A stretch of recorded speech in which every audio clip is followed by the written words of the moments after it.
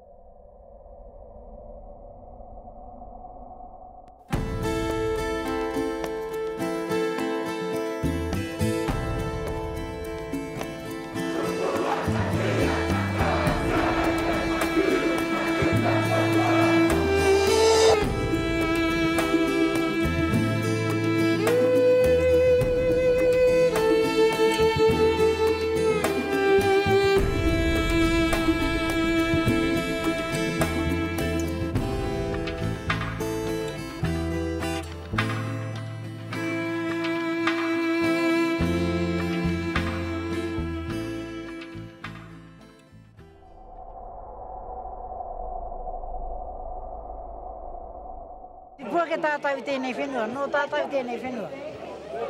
Ehara i te Pākehā tēnei whenua, engari nō muri mai ka hokohokona haeretia, ka tangotangohia, ka murua. Ko te tūturutanga o te whenua nō ngā Māori kē tēnei whenua, nō ngā Māori. Ko te kōrero e kōrero nei o tātou mātua, haere ki roto i nā kōawaawa nei, nē? E piki rānei ki runai nā, nā karahiwi? E piki rānei ki runga ki nā mau, kia hāua koe nā hau a Tāwhirimātea. Ko tērā kaupapa kia rapua roto i ō mahara. Ka kite koe i roto i ō mahara i te wawā te rau rākau ānō kei te kōrero mai ki a koe. He nui nā tāngata kua rongo au e kī ana, ā, i rongo au te rākau e, e kōrero ana. I pērā ana ara hoki tēnei mea te Pākehā.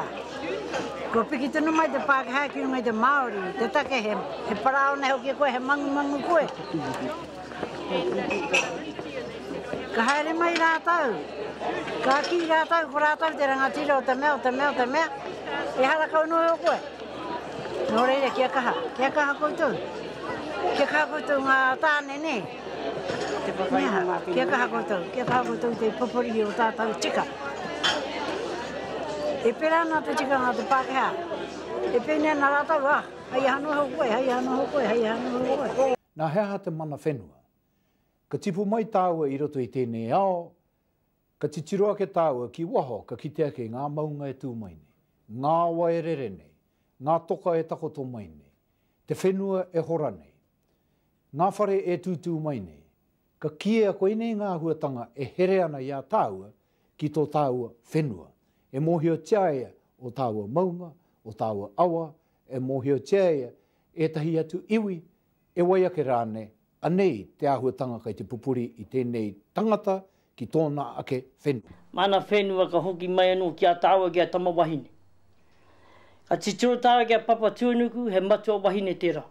Ka noho mai te tamaiti ki roto ki te whenua, ki roto ki te kōpū.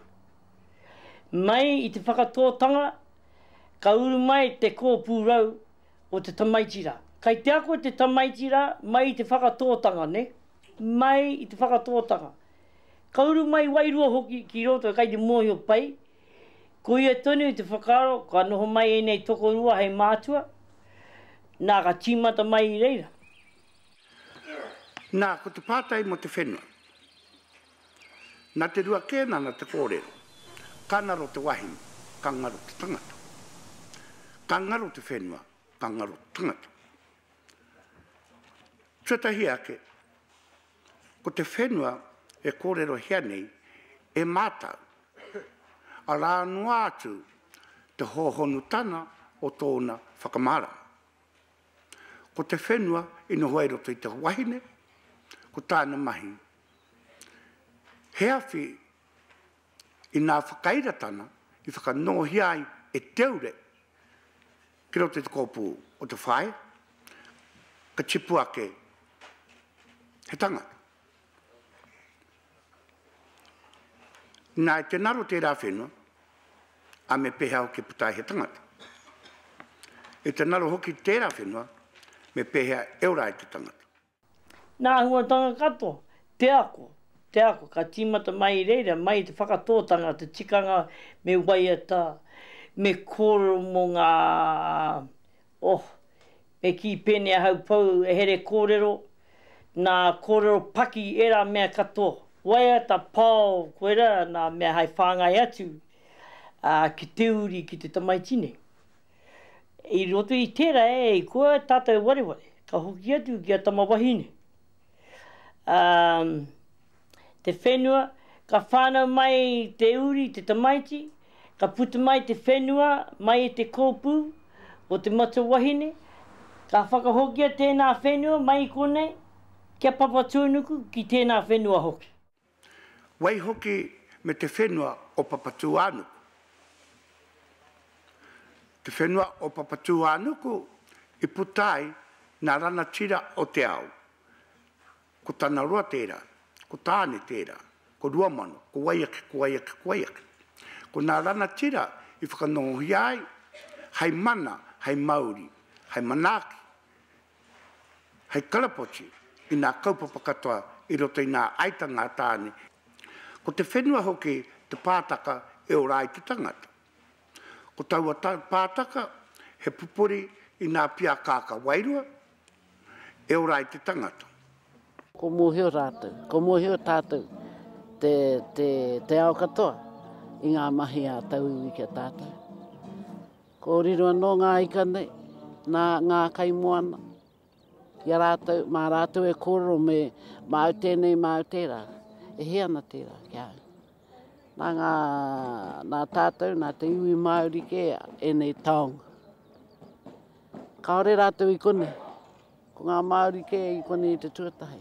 Nō reira, ki a au nei, ngā taonga nei, whenua, kaimoana, ngā moana, ngā maunga, nā te Māori. Mō te rākau, mō ngā mea katoa o te whenua nei, kāre i tapaina, he mea whakanoho he Māori. Nō reira, Ka tipu ake tēnā rākau, ka tirohia, ā, me, me whakanoho te mauri o tēnei rākau ko Tawa. Anei ōna kaupapa. Nē? Anei ōna hua, anei tāna, tāna mahi i runga i te whenua nei. Nā, ka tipu ake tētahi rākau, nā, ka tirohia anō, nā, whakatōhia te mauri o tēnei. Ko Rimu. Engari tātou te tangata, i tapa inoi ai tātou kia mau ai nā inoi tawhito, kua tapani, kua tuku. Engari ko te whakatō mauri, ā, he mea hou, he mauri. Ki a tātou te iwi Māori me haere tonu, me whawhai tonu mō ā tātou whenua. kia hokihoki mai. Kei, kei te haere mai ngā uri whakatupu. Kei muri nei e tahi, kia whai whenua e rātou hei mahi whare mō rātou. O tīmata tēnei wāhi, te mahi whare mō ngā uri o konei. Nō reira, Taku awhi i te Tiriti, kia hoki mai, kia whai wāhi ai a tātou uri ki rungu i, tō rātou, i ō rātou whenua.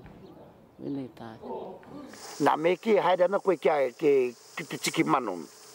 Nei, nā tae atu koe ki reira, nā kua kōrero anō koe. Ēi mano. I whakatōhia te mauri. ki a koe mō te whakamahu i nā whati.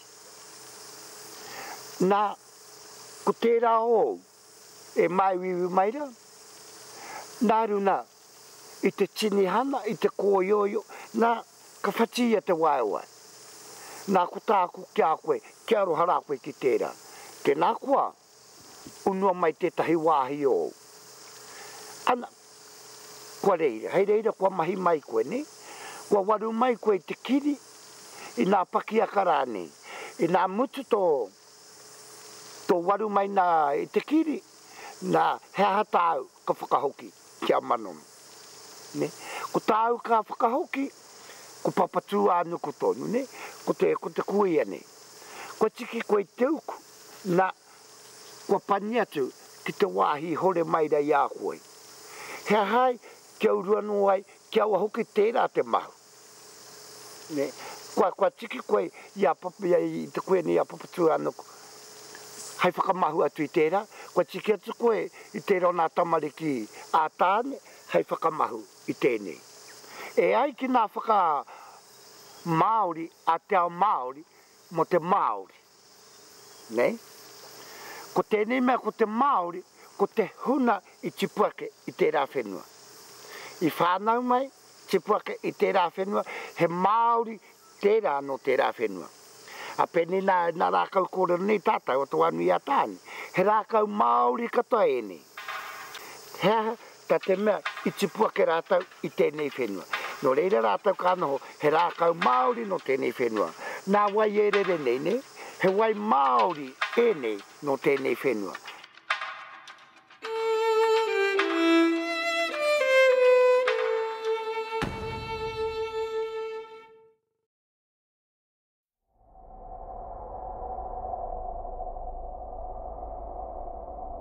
problem that the Crown had was that their beachheads were very small uh, in Auckland here where the seat of government was established and the uh, New Zealand company settlements uh, at uh, Whanganui, New Plymouth, Wellington and Nelson uh, and later on the Otago settlers.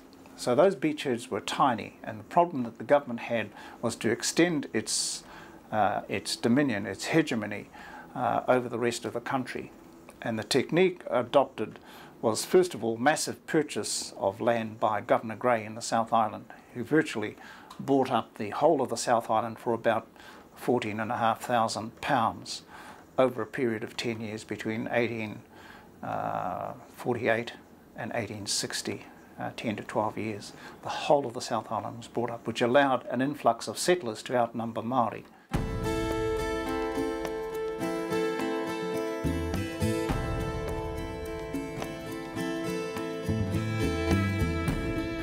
But in the North Island, uh, the tribes were much more numerous. They were not easily intimidated because Governor Grey threatened in the South Island, if you don't sell us this land, we'll just bring the soldiers down here. Uh, but in the North Island, the tribes organised and they resisted land sales, uh, and the answer was found in war, or they thought that they would find the answer in war. So in 1860, the wars broke out, extended into the north here, in 1863 into the Waikato, and uh, 3 million acres of land were confiscated under the 1863 New Zealand Settlements Act.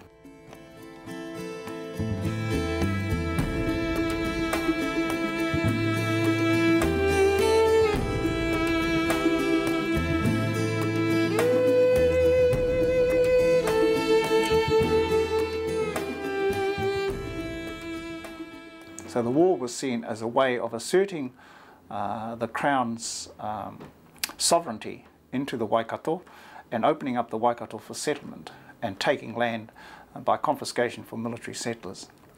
But they found that was a costly way of getting the land uh, because uh, I think they borrowed three million pounds on the English market to pay for that war. Um, and so uh, a much cheaper way was found when they devised the Native Land Court in 1867 uh, which is a legal device really for the expropriation of Māori land. Uh, it's an artifice for legalised theft. That's what the Native Land Court was. And uh, it was quite scandalous. And I think uh, Rees, who was a land commissioner, uh, or sat on the Māori Land Commission, said, you know, the dealings of the Native Land Court will make the cheeks of our future generations of our children blush with shame. A lot of you go to the courts these days for succession orders. And Tikona Māori has in some sense taken over the view of succession that the Land Court has put in place.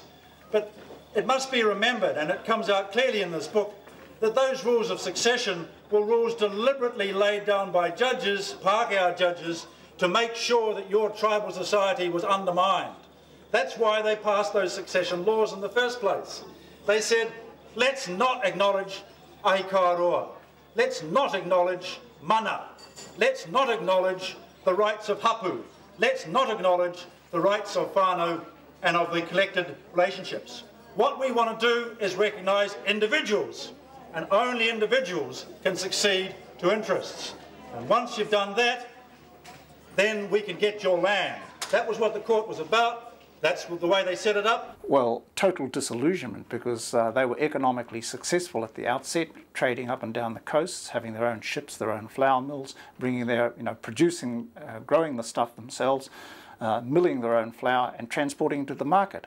So they had their own economic infrastructure that was well on the way to, to development.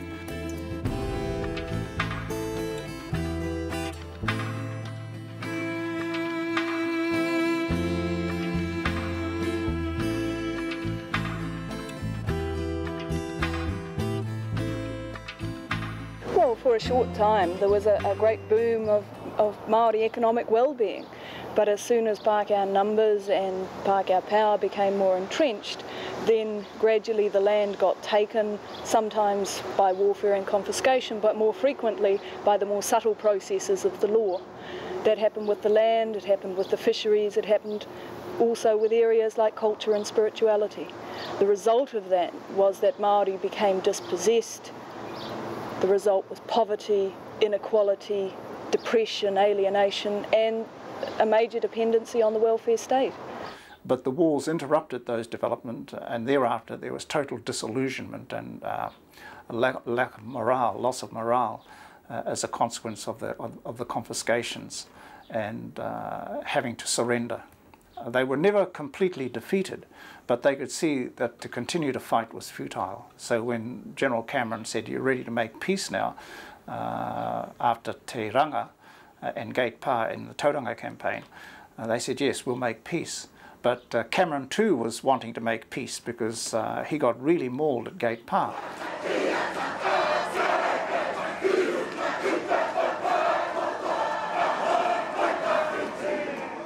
was a, a really severe defeat for a British uh, a standing army, which at that date uh, numbered upwards of 18,000 men. It was the biggest imperial army in the field in any part of the world at that stage uh, of our history.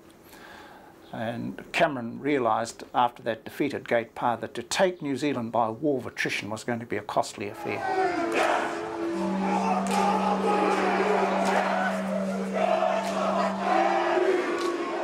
1867, the, the Native Land Court was set up, and its job was to identify who owned what piece of land. Now, Māori land was held communally by the hapu, by the tribe, uh, by the iwi, and by the Waka Confederation. You know, there were rough boundaries clearly known to each Waka uh, and each territorial subgroup.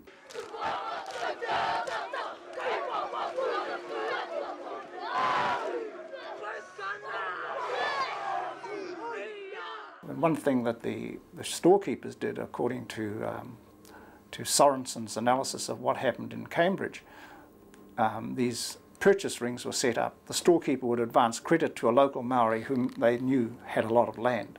And once they got him into debt, they'd say, hey, you owe me this money, and if you don't pay me, I'm taking you to court.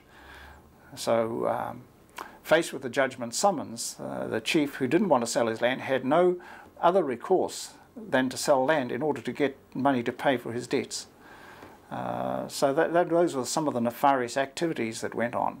So there was suborning of people to apply for title, there were gratuities, uh, liquor was part of the purchase payment, and uh, when the people got the title to the land uh, and they sold it, they got only a fraction of the money that they were promised because most of it went in lawyers' fees, in survey costs, in court costs, and paying back the people who had advanced them a credit to go and apply for the title. So it was a destructive period of Maori history between 1867 and uh, 1890, when most of the land went. I think seven millions was purchased pre-1860 uh, in the North Island. Uh, the whole of the South Island had been purchased by that time. And Ngaitahu were totally marginalised. They only had 10 acres a head left, and that was goat country. They couldn't even live on that the, the Ngaitahu were beggared by Grey's policy uh, between 1858 and 1862.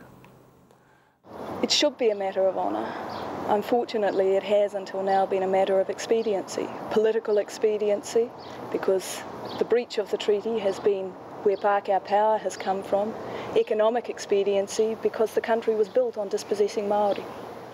There were men of honour but the powerful people, the vested interests, people like Russell and Whitaker, who established the uh, New Zealand Insurance Company, uh, the Bank of New Zealand, the speculators who wanted to open up the Waikato for their speculative ventures, uh, they had much more power and so they won the day. And in our own time,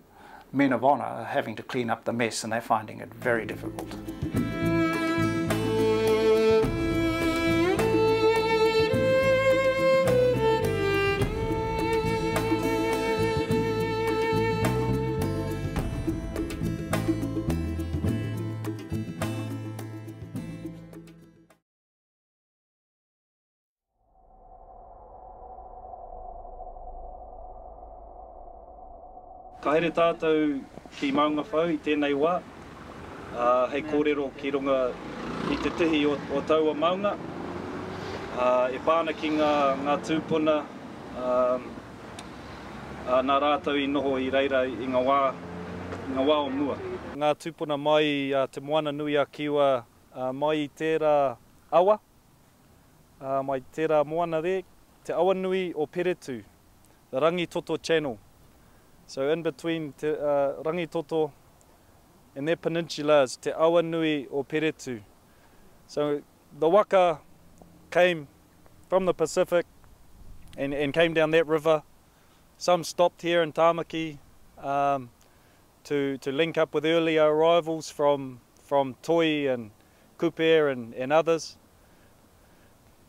However, most of the waka we, we know today, our, our, our corporate waka, did not stay for long.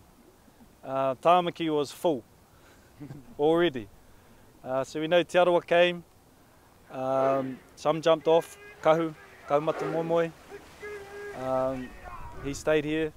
Some Ngāti Awa, uh, Mā Tātua also touched on here. Tainui waka as well we have lots of names left by different tupuna around Tamaki. I riro hoki nga i a tauiwi. I a tauiwi nga nga whenua nei na ratou ano i tango. To matou mara i raro i a matou noho ana i raro.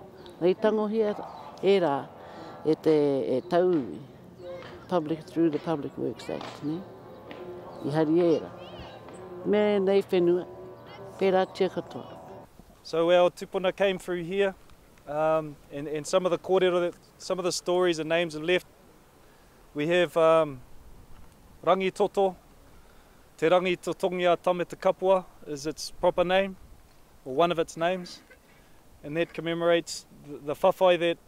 Hoturoa and Tamatekapua head on that on that island um there was some conflict on on first arrival uh I think like a good Arawa man typical Arawa man he he he hit on uh Hoturoa's wife there was a bit of conflict there.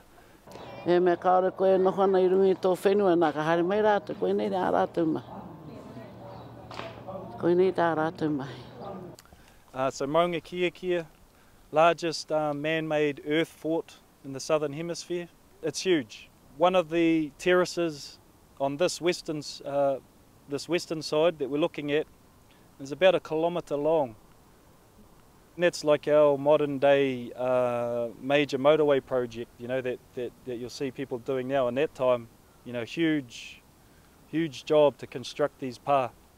One of the names for that pa and others is Ngafakairo Atitahi or Te Moko Atitahi. So Maunga Kiaki is, um, uh, for a lot of reasons, is, is a very important um, Maunga. In its heyday, 5,000 people living on, on the slopes of, of Maungakiakia in seven distinct papakainga. There's a lot of nutrients in the soil from, the, from these volcanoes, which produces bumper crops. Coupled with that, you know, um, you know, once were warriors, well, we know once were gardeners, they were, um, they had gardens of industrial, you know, type scale here. One of those gardens was called Ngam, uh, Ngamara Tahuri. Tahuri's gardens, which went from Maungakiakia to Waiatarua, which is about four kilometres huge. Um, another name for those gardens was Kohi Awhito Ngā Mara Atahuri. So the clouds of butterflies, if we were standing here today, you'd see across those gardens. Two seas, uh, we have Taikihu on the Tainui Waka, when it landed, jumping off over on this side and doing his uh, reconnaissance on the Manuka Harbour, coming back and talking about him catching mullet with his hands. There was so, so much kai. plenty of fish. Two um, high tides, I guess, finish fishing over here, hmm. shoot over there, um, which is what the kuaka do. We get about uh, 20,000 of them, I think, out um, near Te Atatū, um, and they fly between tides. And when they do, or when they did, or when they do, but when we did, we, we jump up in the air and whack them out of the sky and, and, uh, and, and catch them. We had two base camps, one at Onehunga and Maunga Kiakia, and one which we called the Orake Kainga Complex, which is Remuera, uh, that little bay there, Hobson Bay, Kainga all through there. Two base camps. Uh, in summer, the head of each, each clan, whānau, would have to move out from the base camp to satellite fishing villages dotted around the coasts. So we have fishing villages at um, Waipapa, bottom of Parnell Ro Road, Horotu, Queen Street, uh, Te Tor, at another Te Tor, Beaumont Street, uh, Orca, Point Erin, uh, Opotu Keha, Cox's Bay, Te Rehu, the zoo, uh, and so on. So each fish for shark, heaps of sharks still up under the harbour bridge, Uh, the Waitemata River behind us here. Um, and you still hear fishermen talk about all of the shark that they'd go up there. Assess all of the kai in summer and uh, autumn, and then when it's winter, come back to the base camps and share the kai. 1914 we had a sewer pipe under the operating. So obviously pre-resource management act sections 8 they're consulting us and so on. Uh, so they cut off cut off access. There was there was no access to the to the beach. Eight foot high pipe poured out the raw sewage out out by Kelly Taltons there. Um, so Kelly Taltons aquarium is the old old uh, sewers. Um, so that had, had obviously had an impact on everybody here, um, physically and wairua wise as well. Um, I think the Orake report, you know, pretty much says you know, the Pope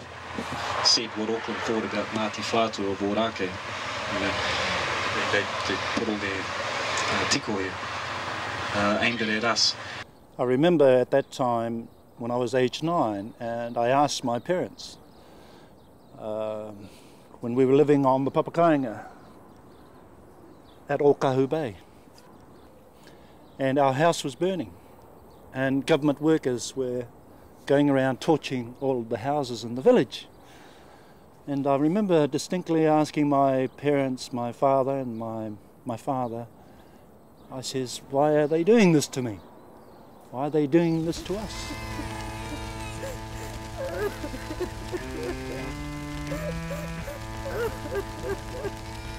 We had 52 homes in, in, in the village.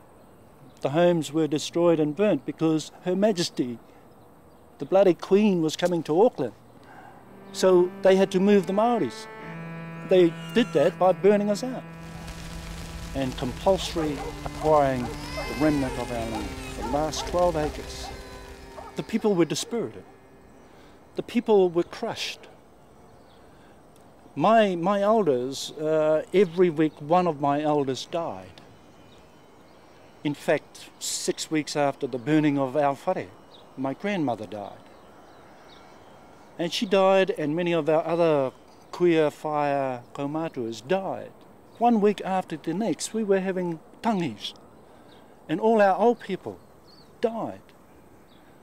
And they died not because of any illness or because of any uh, disability or any uh, plague that ran through the marae. They died because they were broken. Their spirit was systematically broken after hundred and 130 years of of trying to salvage this sacred heritage. Haole te mōri ka rika noa, te ohonga ki te ao, mapukau noa. Now in the Waitangi Tribunal report, the burning of our homes was defined as a breach of the treaty. The removal of the people from their sacred, historical, ancestral land was a breach of the treaty. The move by the government to compulsory acquire our land was a breach of the treaty. A dozen other, 24 other things that were done to our people was a definite breach of the treaty. We are saying we've had enough. Recognise the Treaty of Waitangi recognise the injustice that you have served upon the Maori people. And while we were on Bastion Point, this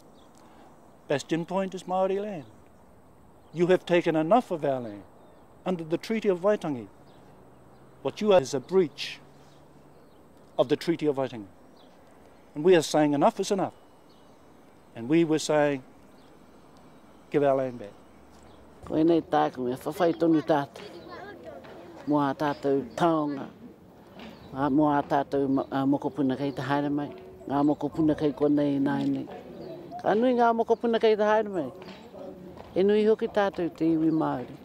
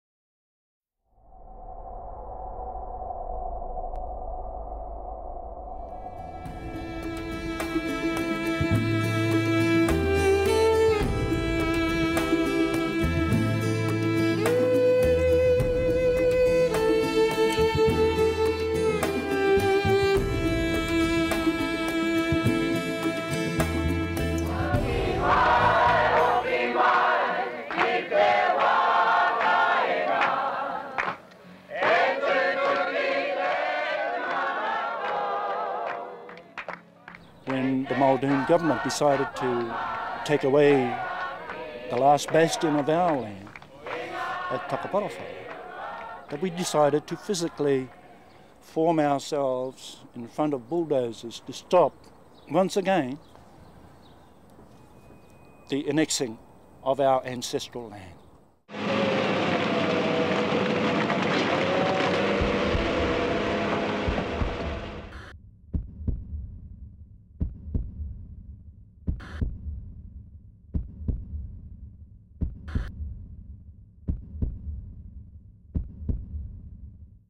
bulldozers were coming in. We had meetings with Winstone, and because all the Maoris were driving the bulldozers, we, we told the, the take, we told this is Maori land. They said that they will come, uh, bring their machines, but they will, won't drive on to ancestral Maori land.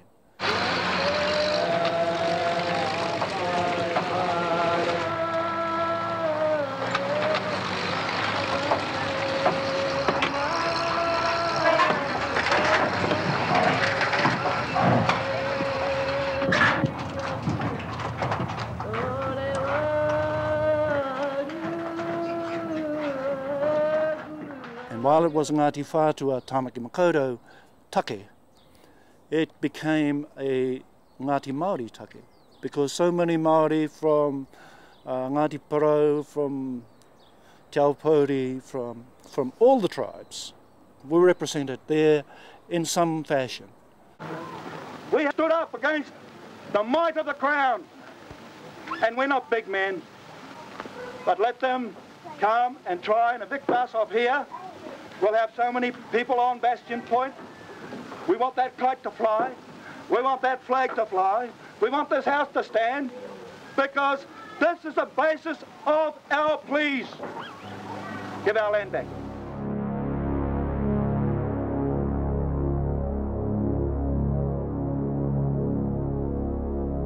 And the visits from us from Fire, from Queer was so amazing. The, the mass support from Maoridom. Uh, because uh, we were termed as radicals and troublemakers and, and, uh, and so on.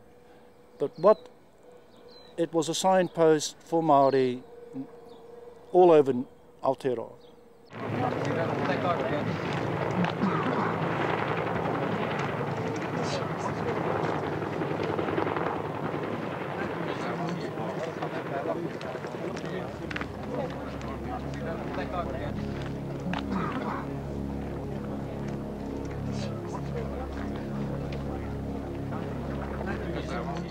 when Best in Point first started, remember, remember, important thing is that the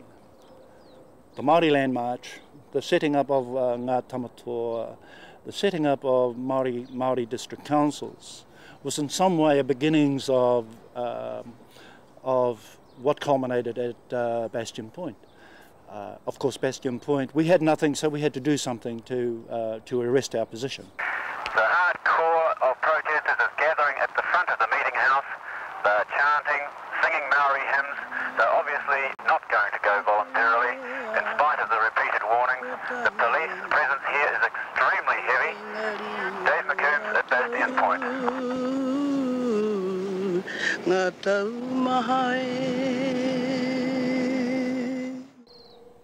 No action through the courts, no action through government, uh, no um, no success through um, royal commissions, or petitions. Um, there was a time to recognise that we were sons of chiefs and warriors. That either we throw ourselves into the sea or we stand up and fight.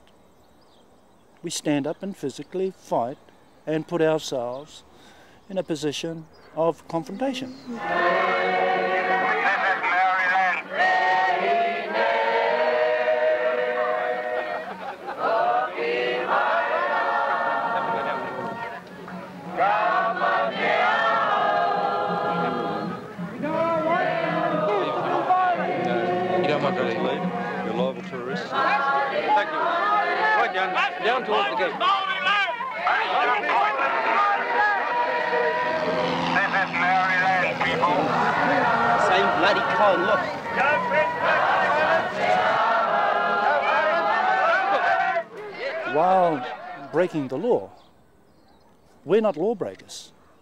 We are breaking unjust laws.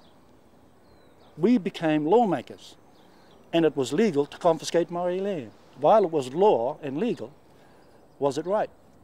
It wasn't right. So we were, became law changers.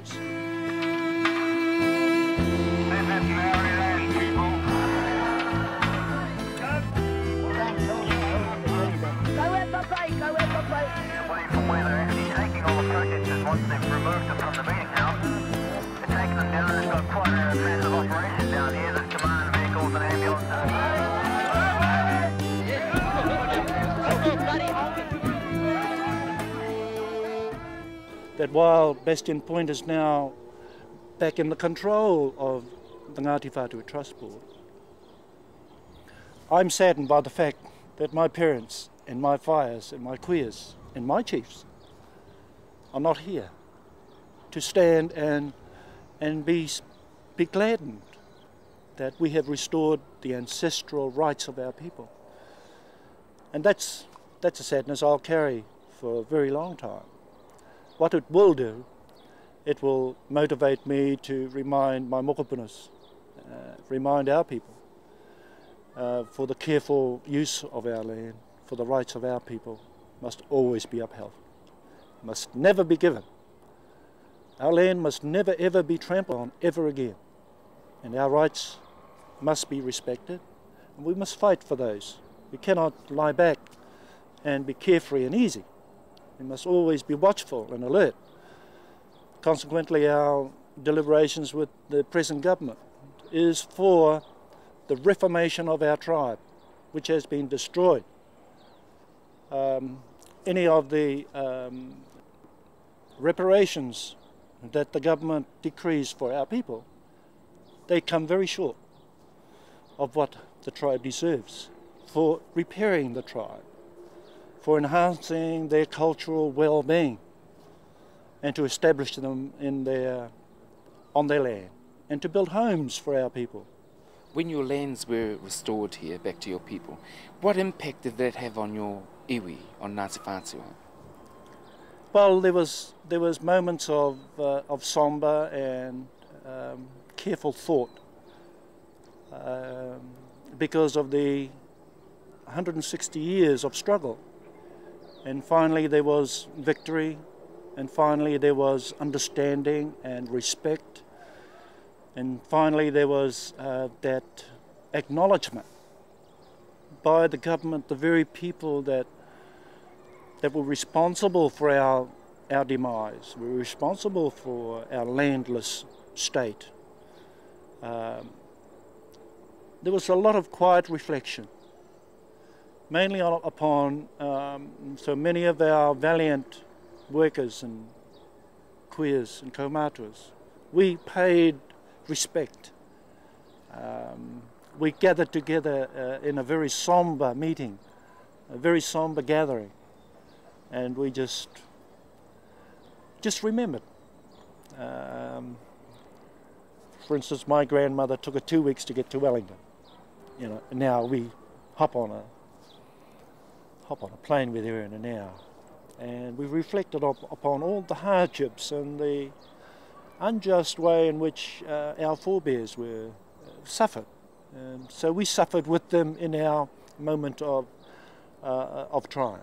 Uh, we had to um, we had to think and dwell upon it because there was so much sadness intermingled with with the relation with the realization that all our mahi Uh, and all the mahi of our forebears had come to fruit.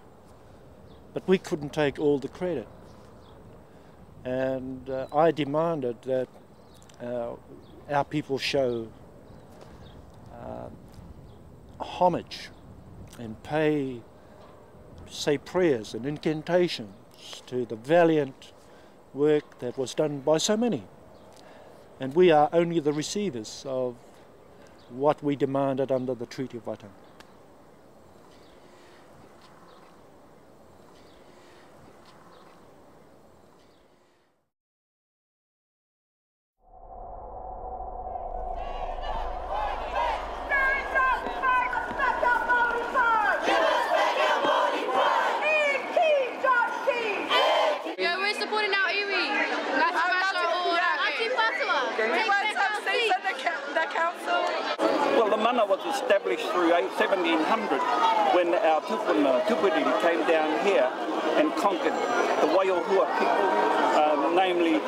uh, Kiwi Tamaki.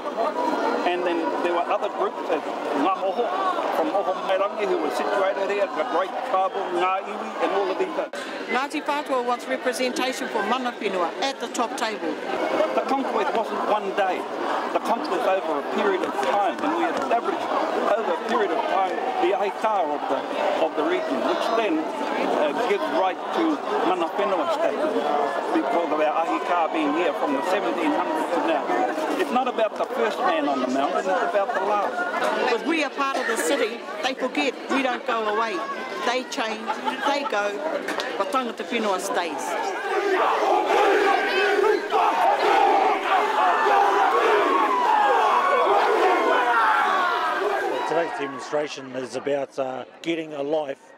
for a Māori political voice. It's about gaining equality with, uh, with the Pākehā political voice so that at the table of the, city, the Super City Council of Auckland, you have the best leaders from all cultures. That's the right thing to do in a multicultural age.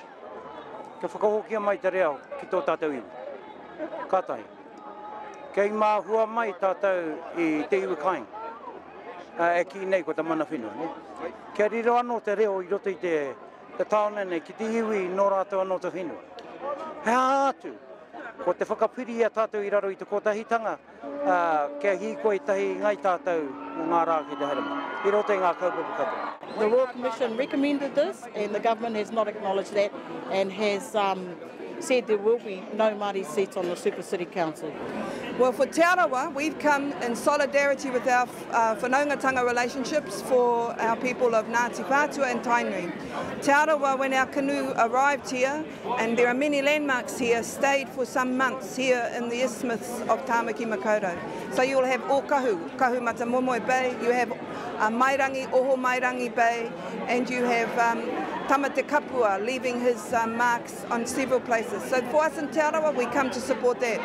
But we also come here because this will be the precedent. If a super city is established without Māori representation, then again, they will have trampled on our uh, status as tangata whenua and made us invisible. So we are here to ensure that we aren't invisible in the 21st century. Kei konei ngā wakakato. Ko te haere mai ki te tautoko I te reo kia whakaputaina anō te whakaaro ki mua i te aroaro o te kāwanatanga ki te kī atu, kia tika wā koutou mai. Kei pōhēhē koutou, karakau ana e reo tō te Māori. Kei konei.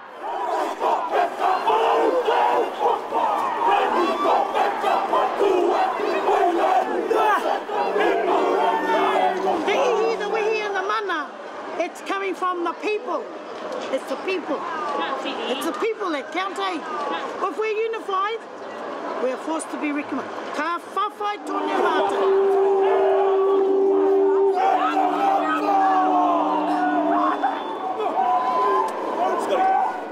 Haere mai te ao whānui te tautoko i tēnei kaupapa. I te mea atu i a Tāmaki, ko tēnei he kaupapa e pā ana ki a tātou katoa. Me wā tātou kaunihera, Ahakoa kei Tūhoe, kei te rohe o Te Taitokerau, kei hea noa atu, he kaupapa nui tēnei ki a Ngāi Tāua. Oo, ae, tautoko kaha ana mātou i tēnei hīkoi. I haere mai mātou i te hiko o te ika, ā, ka nui ngā kau mātou me ngā kuia e, i haere mai i runga i tō mātou pahi. Tino tautokona mātou nā te whātua tēnei, tēnei kaupapa. Pērā tonu i ngā mahi a te kāwanatanga mai rānō, tērā kia waka kāhoretia i ngā wawata o te ao Māori. Engari, haere ana au kei konei te iwi, kia mōhio ai te kāwanatanga, e kore mātou e noho wāngu i tēnei rā āpōpō mō āke tonu atu. Mēnā e waka kāhoretia ana rātou i ngā wawata nei, i ngā hiahia nei, ka hīkoi mātou, ka tū mātou, ka kōrero. Tino tautoko ana hau, Tino tautoko ana hau me i teni rā whakahirahira mo tātou mo te Māori. Tēnā. Ehara mai ra i runa i nā hono o tātou te iwi mā. Ā, mohona mōkuna hono o roto ā, me ki a Mātaatua, ana e hono ana hoki ki a Ngāpuhi, otirā, ki a Ngāti Whātua. Ā, koinei tā mai te tautoko i te ao Māori. Ō, ākua. Mā atu katoa ngā kuia katoa haere mai a koe e ua ana. ā, kaha tonu mātou te puta mai i te tautoko o te kaupapa. Oh, I think Ngāti Whātua have shown tremendous grace and leadership. Ngāti Whātua deserve a voice. Uh, no other group has given as much to the city of, of Auckland as Ngāti Whātua.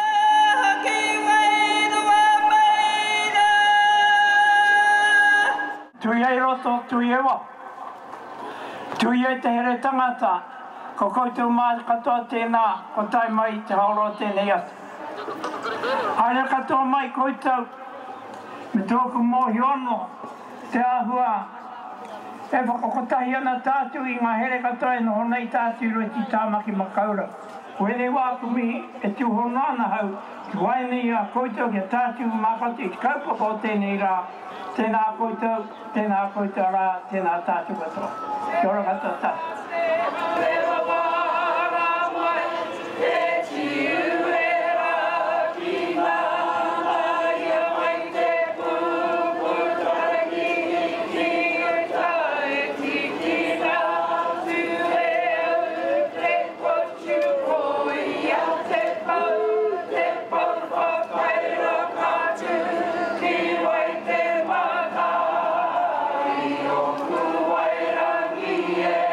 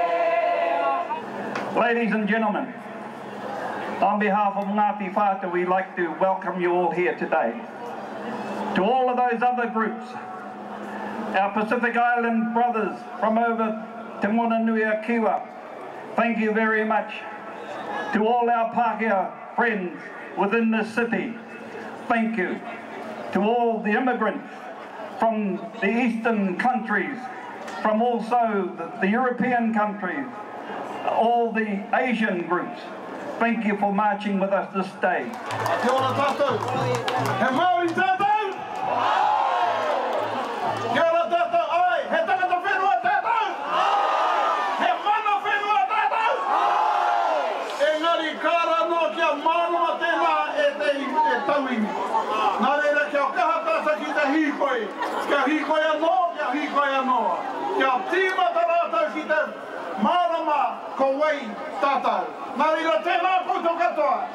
Tēnā koutou i tupu ngātahi me te whenua nei. We grew with the land. We are the land. We, the Māori people, are the land, Aotearoa. Tēnā koutou katoa.